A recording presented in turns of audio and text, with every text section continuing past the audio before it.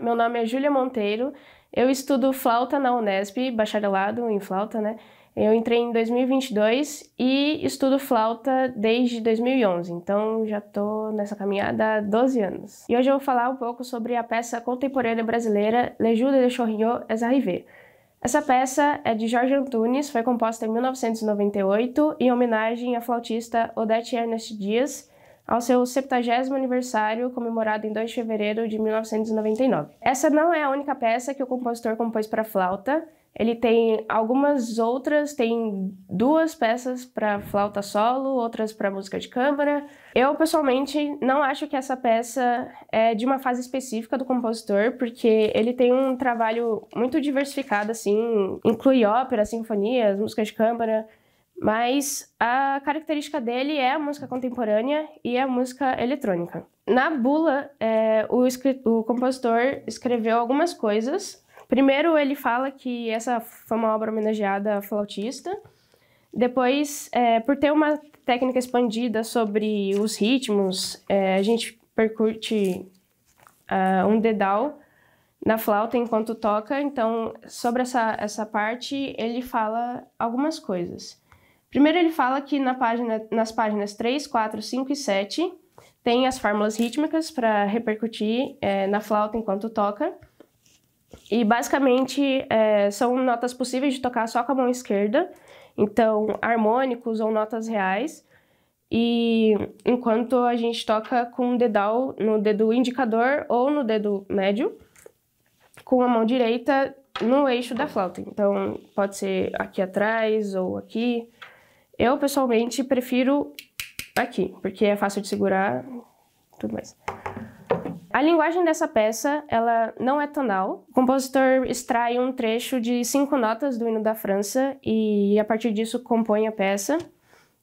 Então, ele pega tanto essa melodia, tanto o ritmo característico do chorinho. Então, tá tá tá tá tá tá tá tá. tá. Esse ritmo fica, essa célula é, rítmica, né, fica soando durante a peça inteira, tanto na parte melódica quanto na parte que tem o ritmo. No caso, nessa parte é o, o dedal que faz o ritmo, enquanto a, flauta faz notas longas. De técnica expandida, além dos ritmos, temos frulato, temos é, harmônicos, mas nada além disso. Em questão da estrutura da peça, ela não tem nenhuma modificação de andamento, mas tem muitas mudanças de dinâmica, então tem bastante contraste de dinâmica. Como é uma esse negócio de pegar as, as cinco notas do hino da França e compor uma peça inteira sobre isso é uma questão meio com, é, não é complexa. Então, o compositor para deixar mais rica a, a partitura deixa bastante contrastes dinâmicas é, tem uma variação rítmica muito grande, assim, também, porque além de misturar é, a célula rítmica que eu falei, tá, tá, tá, tá, tá, tá, mistura com algumas quintinas, sextinas, que não são muito esperadas, assim, durante a peça. Aí segue para a parte do ritmo, tem duas, duas páginas só de ritmo, depois volta para a célula ritmo, é, parte melódica, também variando o que foi apresentado primeiro. E, de novo, acaba com a parte rítmica, é, tá escrito aqui, ó, sumindo, repetindo, sumindo. Então, vai do intérprete é, o quanto de vezes que vai ficar fazendo o, o ritmozinho até diminuir a dinâmica e sumir completamente e acabar a peça. Essa peça eu não achei muito complexa de estudar, mas tem que dar muita atenção às diferenças rítmicas, porque, ela, como eu disse, ela, elas aparecem de uma forma meio inesperadas, assim, então dá bastante chance para errar os ritmos e, e a característica dessa peça são os ritmos, então tem que prestar bastante atenção. É, basicamente, eu comecei estudando solfejando essa, essa peça, não em questão de melodia, mas o ritmo mesmo. E uma coisa que eu achei difícil também foi os acidentes ocorrentes. É toda hora. Então, para quem tem dificuldade de ler, assim, uma leitura à primeira vista dessa peça seria quase impossível, assim, porque tem, tem muito acidente ocorrente. Eu achei bem difícil de ler, assim, a primeira vez que eu estava estudando. Assim, eu particularmente sempre gostei muito de ritmos, então eu não tive muita dificuldade em juntar o ritmo com a melodia da flauta enquanto eu estava tocando, assim.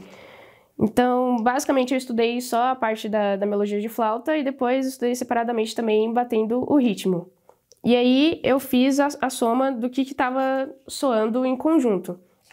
Então, ao invés de pensar separado na hora de, de tocar a peça, é, eu prefiro pensar como que soa o conjunto da melodia com o ritmo. Essa é uma dica que eu dou, assim, cada um tem a facilidade, se prefere pensar separadamente. Enfim, tem essa questão de ler as duas pautas ao mesmo tempo também, né?